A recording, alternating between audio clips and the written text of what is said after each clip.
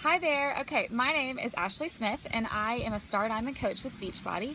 And today I wanted to talk to you a little bit more about time management. That is something that is so huge in this business to being successful and something that's also so hard to do because sometimes it's so hard to manage our time wisely and make sure that we're really using it in the best way possible to further our business and not just spend time surfing all over Facebook or um, you know, commenting on people's pictures and not really getting anything done behind the scenes of what we need to do as coaches. So I want to share with you a little bit about my story and then kind of how I have managed my time um, while I was full-time teaching and how my plan is to manage my time um, in these next coming weeks as I'm transitioning into being a full-time coach and a full-time mom. So um, I started coaching about seven months ago.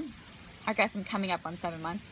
And I started coaching when I was a full-time teacher. Um, I would commute about three hours a day in the car, um, you know, about an hour and a half there and back, depending upon the days and the traffic.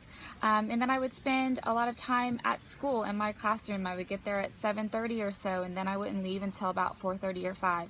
Long days, not a lot of time to sit and do all of my coaching things. So how did I get it done and how am I here today and, and being successful as a coach and now able to um, be able to work from home in just um, tomorrow actually in just a day so I what I kind of did as far as my time management is anytime I was in the car you know, give or take a few days. I just, sometimes I just want to listen to music in the car and that's fine.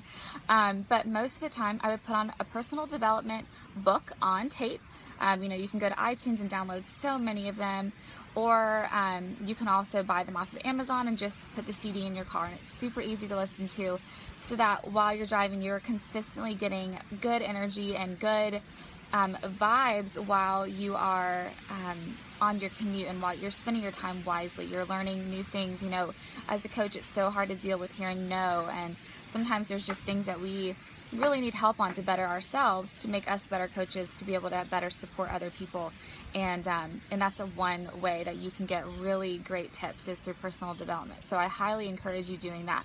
But so on my way to work and on my way home, I would either listen to a personal development book or I would watch training videos. Now, kind of dangerous, but I would go onto Facebook and I'd go into my training group that I was in and I would catch up on any of the videos that I hadn't watched so far. So you know, whether it was a push to whatever group, you know, to get to the next rank level, or it was just a training group with my upline, whatever it was, I was constantly watching videos and listening to them, not watching, but listening to them and getting good tips. You know, I could stop it and quickly make myself a voice um, reminder in my phone, or um, I was able to at least have them watched. And then when I got home, I was able to kind of comment underneath them or send questions to people or, you know, whatever it may be. So that was one way that I used my time wisely while on my commute since I spent such a significant time in the car. Um, then fast forward to when I got to work. I was blessed enough to have planning time. You know, as a teacher, you usually get one to two periods of planning. And I was blessed to have planning time in the morning. So I would go ahead and I would start my day with personal development or with whatever training video I was watching or catching up on or listening to the wake up call, whatever it was.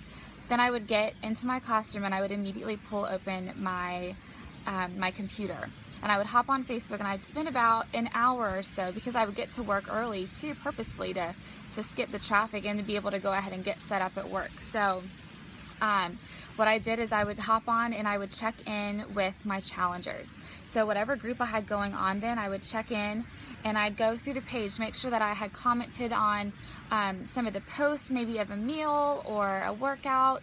And then I would also, you know, just encourage them and, and answer any questions. Then I would hop into my back office really quickly. If there was a rank advancement, I would make a graphic for it and I would I would, you know, share with my team that this so-and-so made it to Emerald or made it to Diamond or whatever the certain rank advancement was. I have a prefab email that I send my new leads from, um, from just from Beachbody. So if it was a, you know, just someone who got me as a free coach or if it was somebody who um, is a Shakeology lead, I had a prefab email that I would quickly go to my sent items, I would copy and paste it, make something a little bit personal in there, and I would send them my new leads an email. Make sure that I didn't forget to follow up with my new leads because you don't want to leave them hanging either. You know, they're your customers, even though you didn't necessarily sign them up personally. They're still your customers. Sorry, there's a mosquito in my eye. Um, so after I would do my back office, then I would quickly check in with my coaches. Personally, I have a message thread that goes with my coaches, and so um, I would consistently check in with them, make sure I had, you know, we're all in kind of different time zones. So I would quickly check in with them and see, you know, what's going on, if I missed any questions before I went to bed, um, if there was anything that they were talking about already after I woke up, and I would kind of give my two cents, tell them to have a great day, and make sure that I had answered everything that they had. You know, I'd go through all my team pages, my group page, my inspiration crew page. Um, I'd make sure I'd answered any questions there. If there was a really awesome video that I listened to while I was on my way to work, I saved it and I had posted it into the group so that I could share that knowledge and that awesome those awesome tips with my coaches and I would quickly put it in there and then I would move on. So you know, as a teacher, you don't have a lot of time and there's a million other things that you have to do while you're teaching as well. But my business was a priority and I wanted to make sure that I was getting in the time that I needed with my coaches as well and with my customers. So biggest things I got there, sent my leads, new my new leads emails. I checked in with my coaches and on all of my challengers, all my team pages that I had and made sure that everything was caught up, that I had answered questions and everything. I would go into my email if I ever had anybody from maybe Instagram that had emailed me or someone that I had emailed about um, about a product or about coaching, I made sure to check in with them as well. I've kind of made it my rule to my personal rule to not go more than 24 hours without messaging someone back with at least letting them know hey, I am super busy today. I promise I got your message. I just wanted to let you know. And I'll be touching base with you, you know, by Friday or whatever that may be. So if it was a busy week, you know, I would go ahead and just let them know that so that they don't think that their message is being ignored. You don't want to lose that window of opportunity to be able to have them become, you know, a person of your team or, or a person in your challenge group that you could join on their journey with. So you want to make sure that you're being consistent with that as well. Um, as far as everything else, I made a plan. Um, making a plan is huge as far as being um, successful and just being consistent overall and not getting burnt out and overwhelmed. So at the beginning of um, the month, I would make a calendar for myself and I would plan out from day to day exactly what I was going to do. You know, I would plan when my free group was going to be and from what days and which days I was going to post about it and which day I was going to fill it on and which day I was going to open it on and when it would end. And then I would post, you know, that I would write down the date that I wanted to have Success Club 5 and then the date that I wanted to have Success Club 10, and then fast forward into my paid challenge group. I would have that theme picked out and I would choose each of the different days, and that's something that I still do. A calendar is just huge as far as making sure that you're um, that you're on pace for that month and it just really helps you to kind of set yourself up and have have good goals for yourself as well not get lost in the mix of of being a busy, you know, working five, nine to five job or being a teacher or being a nurse or whatever it is that you do, um, it really helps for you to have a good schedule set for yourself. Um, so as far as going back to my days as teaching, as a teacher, um, I would use my planning time to get stuff done. You know, yes, I would do the things that I needed to do um, for school and make sure that I was planned and prepped for that for my school kids and for what I was teaching that week. But just as I planned ahead as a teacher, I also planned ahead as a coach. So I would get in and I knew exactly what I wanted to do. I wanted to spend that first hour of my planning doing my power threes. So I went in and I followed up and I posted a message. If I hadn't made a hadn't made a post by the time I got to work, I made a post, whether it was about my breakfast or my Shakeology or you know a motivational quote for the day or I took a picture of something and made it my own something that would be inspirational to other people to kind of be able to share something with them so that they see you in the morning and then they're also not, you know, you're not just disappearing for the whole day. One of the biggest parts of being a successful coach is being consistent. So, um, one of the things I also like to do is schedule my post. There's an app called Buffer if you have an iPhone, and it is a lifesaver. Um, as a teacher, I, you know, when you're during the school day, I like to try to not have my phone out on me all the time. You know, I don't want my students to see me on my phone. I want them to feel like I'm engaged with them. And so, um, it's probably a rule too, I don't know. but um, so I would make my post in the morning and then, you know, a lot of times I would have something from my personal development or from my video that I listened to on my way to work that would really speak to me. And so I would find a cute graphic or I would make one myself and kind of put my words and my thoughts into, um, into a picture and then I would go ahead and write up my post and then I can say I want this to post on Facebook at 11:45 a.m. or at 2:31 p.m. or you know whatever it may be so that you don't even have to think about it but you're not just you're not scrambling to make just kind of like a crappy post you know that's just something lame that's not really giving any value to anybody, but it's actually meaningful and you've thought about it and it's all this fresh thoughts in your mind from when you did your personal development that morning and it's something awesome that you can share with your followers and, and inspire the people who are, you know, who are following your journey, following your life. So scheduling your post is a really, really great thing to do, even if it's just one a day that you're scheduling because you can do the morning and the evening, you know, when you get home that's a great a great great tool so um, in addition to using my planning time in the morning to really try to knock out my power of threes, I left my screen up all day long on my computer. You know, I'd be doing teaching and a lot of times, you know, your kids are doing stuff at their desk, they're doing other things. So I would hop on, and if I had five minutes where my kids were doing something silently, I would send another message and I would jot it down in my power of threes, or I would follow up with this one girl who sent me, maybe I have 10 messages that I'm looking at in Facebook, and I'm like, oh my gosh, how, when am I going to get through those? And I didn't get through all of them in the morning during my planning time, then I would take one and I would go ahead and answer that one back and I would jot it down in my power of threes that today I followed up with Betty Joe about a Shakeology challenge pack or whatever it may be. So that's one way also that I kind of multitasked a lot. This entire year has been I'm the queen of multitasking for teaching and having everything up in front of me so that I could still be successful because this is this was something that I wanted to do. I wanted to be able to stay home with my son who's on the way. I wanted to be able to quit my job teaching at the end of this year. And now it's coming true because of all the hard work that I've done for just six months. Am I making the big bucks? No, but I'm I'm making more than I ever thought I would already with Beachbody, and it's been um, something that I'm able to do now. My husband is, you know, on board with me quitting my job and being able to stay at home with our son um, when he gets here. And so it's just amazing what can happen if you really, really stick to it, set a plan, and really um, make it a no, a no, no non-negotiable. Um, if you make a schedule, that can really, really help you. So um, I'm kind of all over the place, but so other than my morning routine and also checking in just here and there. You know, during lunch, I'd bring my phone down with me while I'm eating lunch with my colleagues. I'd snap a picture of my lunch and I'd maybe share if it was a really good lunch, you know, maybe a cool salad or a new recipe or whatever. And I'd have it already ready to go. You know, if, when I meal plan throughout the week, I kind of make the same thing. So maybe I chose Wednesday to post my salad and I would already have the recipe written down because I did that on Sunday and I could easily post that today and I already have it saved in my notes that this was the recipe, but here's the picture for the week and there's a valuable post for someone. Somebody can can try your recipe for your new salad or you know whatever it is. So then you know I would head home uh, on my commute and again there's always videos that I would miss in team trainings or in group um, or on my team page, you know, and so, or I'd just research some on YouTube. I'd find some different videos that were awesome. I'd watch them and then share them in my team page while I'm driving home.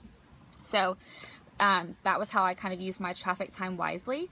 And then um, when I would get home, especially when I was a first time or a first especially when I was an early coach right early on. Um, you know, I was in my new coaches training and I was really so excited and I worked all the time. When I got home, I would stay up late. I would watch all my training videos. I would do all the homework. And, um, you know, and sometimes that's manageable. Sometimes you can't afford to stay up late and you can't afford, you know, maybe you don't have a husband or kids or, you know, it's just you. And so you do have that extra time to be able to do stuff. But it's also not realistic. You know, you are going to have times where you're just, you're tired and you're exhausted and there's, just a lot of things that you could all you can always do more as a coach but you need to kind of get the schedule that works for you. So for my husband and I what we kind of decided was you know we'd come home and we would do our workout together. We really enjoy doing our workouts together. And then we'd make our dinner. And you know I'd usually snap a picture of my workout snap a picture of my my meal just to have either in my vault or to use that night. And then um, and then when we sat down to kind of wind down to the end of the day, granted it wasn't very long because we get home so late that, you know, by the time we have just a couple hours to get dinner in and a workout in and sit down and relax for just a minute, you know, it wasn't long, but I would spend that good hour and a half, maybe two hours if we stayed up a little bit later.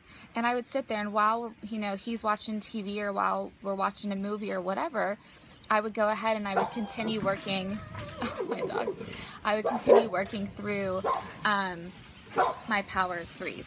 And so I would make sure that I was, you know, continuing to check in with any new people that asked me questions or, um, sorry, any new people that asked me questions or um, with new challengers, you know, people who maybe posted other questions and things like that. So that's kind of how I did it, you know, as a first time coach and as a new coach. Um, it was hard to be consistent, but I made it work for myself. So, you know, I was a full-time teacher, and so I chose what was going to work for me. I was going to work in all my little minutes that I had in between. I was going to work during my planning time, and I was going to work here and there. You know, on the weekends, I would say, honey, I've I've got to get some work done. He's like, great, I'll work with you. I'll get my computer out and I'll work with you.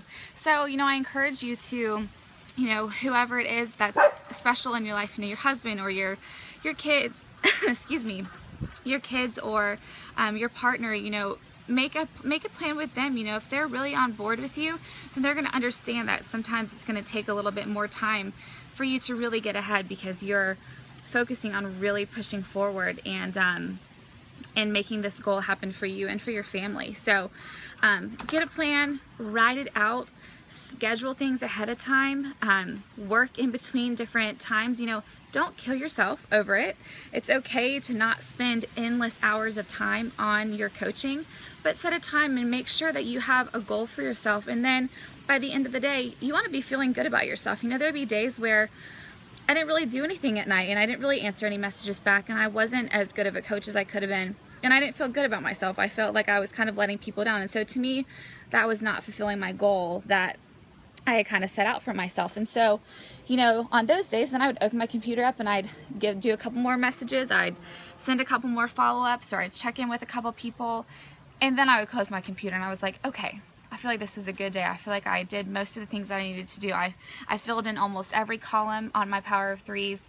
You know, maybe not all of them, but I at least sent one message. I followed up with one person. I posted this. I checked in here. Um, so that's what's important to build your business. Um, being consistent and setting a plan and using all these tools that we have to be successful and to make life easier for you. I promise, take pictures of everything and just keep them in your phone. When a cool thought comes your way, write it down. Write them down. You know, all of those things are stuff that can really, really help you feel less stressed out and like you're scrambling to to get posts out or scrambling to do different things because you planned ahead. So schedule out posts and just make a plan for yourself. You know, if you can only work an hour a day, then you make that the best and most successful hour of your day. Turn off all of those notifications. Don't look at your Facebook feed. Only go to your messages, only go to your email, only go to your back office and really focus on, okay, is what I'm doing right now, is, is that gonna help me build my business? Is this helping me be successful? Because if it's not, then don't do it. Okay, so don't waste time looking at people's Facebook. That's something that you can do later on after your hours. So focus on the things that are really going to make you successful and really ease all that stress that you might be feeling as a first time coach because there is so much to do and there's endless amounts of um, of steps that you can take to be successful but you want to enjoy you're doing this because you want to enjoy it because you're passionate about helping people and about fitness and so don't you don't want to be feeling frustrated and overwhelmed, this should not be something that adds stress to your life. It should be something that should be adding joy and absolute just excitement for life that you're helping all these people and that it's something so fun as getting to play around on social media. So um, I hope that these tips helped you. Um, if you have any questions for me or you would like to be supported in some other way or you want to know more about what my routine is, um, I would love to share more with you. It's a lot being a first-time coach and it's a lot doing it while you're working a full-time job, but it is absolutely doable and possible. And I have not once lost my excitement and zest for this business and now I'm getting to do it full time and I cannot wait to share what my new schedule is going to look like when I get there. So um, I hope you had all your questions answered and if you have anything else for me, comment below and let me know. Okay, bye.